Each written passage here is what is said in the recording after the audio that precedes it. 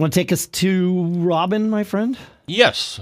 So Robin says, I knew, I already knew that double clicking on the title bar of a window maximizes it, but I found out that when you hover over the edge so that the mouse pointer changes to uh, a double arrow, um, if you double click that, if you then double click, it resizes in that direction only. So Huh. if you need to do that, that's uh, that's cool.